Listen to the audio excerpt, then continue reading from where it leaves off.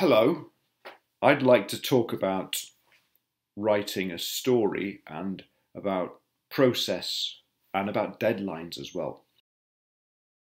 So, um, when you write a story or when you write anything, um, it's helpful to think about process and form. Process is how you do something, the steps that you take whereas um, form is about what it looks like. So about the format, about the grammar, about the language, about the words. Um, often when we think about writing, we think about writing kind of as a thing, like this is writing. Writing is is an object. Um, writing is, as form. Uh, it's more helpful to think about writing as a process. Uh, so just to talk about process a little bit, let me give you an example of a process. Here's a process. Put some flour in a large bowl, pour in the dashi, mix to make batter, rest the batter for about an hour in the refrigerator. Oh, um, by the way, I'm talking about uh, batter and not butter. Butter and batter, batter and butter are not the same. And I, I just want to uh, quickly um, talk about pronunciation. And you're probably familiar with um, Japanese vowels, um, a, i, u, e, o. Uh, if you speak Japanese, you probably know these. Uh, you may also know the English vowels, um, and you may know a, e, i, o, u. And at first sight, it looks the same. Japanese has a, i, u, e, o, and um, English has got A, E, I, O, U. That's five. That's the same number. Um, however, English doesn't really have five. It's more like uh, almost 20. And um, when you're talking about English vowels and pronunciation, um, we sometimes see charts like this with lots of different symbols for the different vowels that we have. Um, the chart is is looking at this is a, a picture of inside your mouth. And uh, when we're talking about pronunciation we talk about the high and low sounds and the front and the back. So um, if you say t or e as in t then what's happening is you're pushing the sound up to the top of your mouth and the front of your mouth. And then you get an e sound um, if you say the word to, the sound is still at the top. It's still a high vowel, but it's at the back. Um, if you go to the doctor with a sore throat, the doctor will tell you to say ah. And what happens when you say ah is you're opening your mouth, you're putting your tongue down. Uh, so the doctor can see your tonsils. Um, so this is called a, this is a low back vowel. Um, now Japanese is quite simple. Japanese has five um, five vowels. These are the, the technical symbols for these vowels. They're a, i, u, e, o. So i is a is a high front vowel. Um, a is a low vowel. U is a back high vowel. O is a back mid vowel. Um, if you look at the vowels in English, then um, English has what's called cardinal vowels, and at first it looks it looks very complicated with all these e's and oo's and us and os and as and as and as. Um, it's actually not so complicated. The main difference between English and Japanese sound, um, Japanese has these a, i, u, e, or five sounds. If you add one more, if you add the uh sound, then it's close to English pronunciation. So adding to a, i, u, e, o, you need to just add uh, and then you have close to English pronunciation. And this means you can then talk about um, Betty Botter. Do you know Betty Botter? Let me tell you about Betty Botter. Uh, Betty Botter bought a bit of butter. The butter Betty bought was a bit bitter, the bitter butter made Betty's batter bitter. But a bit of better butter makes better batter. So Betty Botter bought a bit of better butter, making Betty Botter's bitter batter better. So I hope that's clear. Um, and as you can see, we're talking about batter here. after resting the batter.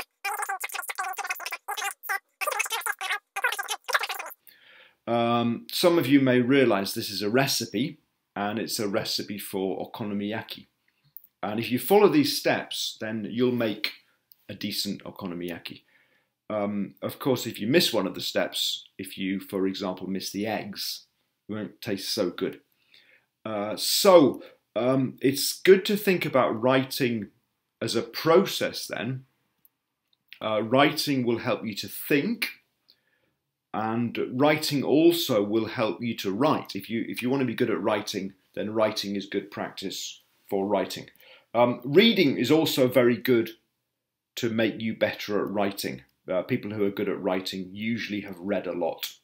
Um, however, it's important to remember that um, you don't become a good cook just by eating okonomiyaki. And the same with writing. You can't become good at writing just by reading. You do need to practice writing as well. Uh, so the writing process then, uh, there are four main steps. Um, first of all is planning. Next is writing. Next is revising and editing what you have written. Um, and the final step is proofreading. And at the moment, um, we're all writing a story. And at the moment, we're kind of in the planning stage. And we're at the beginning of the planning stage, which is brainstorming. So we're trying to think of many ideas. And the next step then is choosing an idea. So choosing the best idea that you have or the best idea that you can find. Next, we need to make a plot. We've talked about plot before. And also we need to make deadlines. So we need to decide when each step of our writing process will be complete.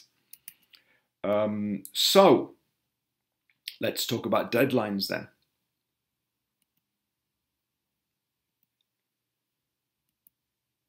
These are um, so these are different parts of the, the writing process. These are different things that you produce during the writing process.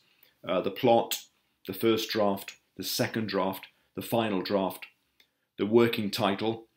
Um, and I'd like you to go away and think about what each of these might be.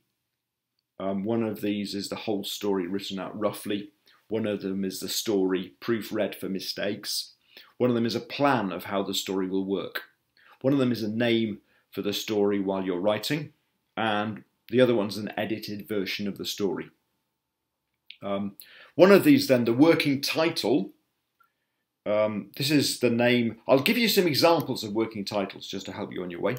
Um, here are some movies. The um, the movies. You may know the titles of the movies on the right. The titles on the left, these were all names that were used for these movies while they were being made or before they were being made.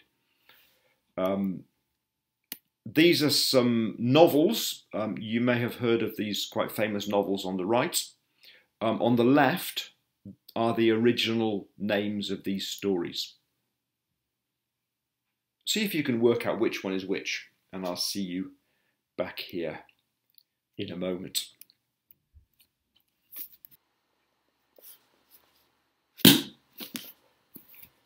Um, so here are some working titles of movies. Um, hopefully you could guess which one was which. Um, a Boy's Life was the original name for E.T. Uh, How the Solar System was Won was the name for 2001 a Space Odyssey. Now, Incident on 57th Street, as I'm sure you know, this is the name of a Bruce Springsteen song on his uh, second album, uh, The Wild, the Innocent, and the E, e Street Shuffle, which I think he brought out around 1972.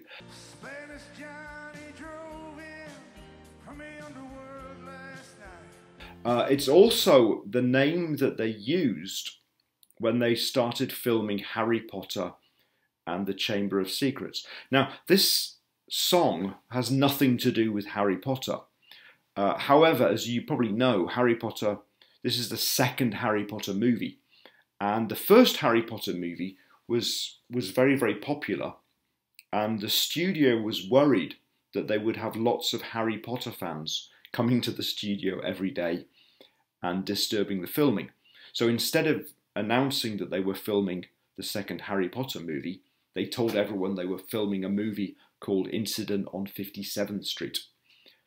Um, the next Planet Ice, as you probably know or possibly can guess, is um, Titanic.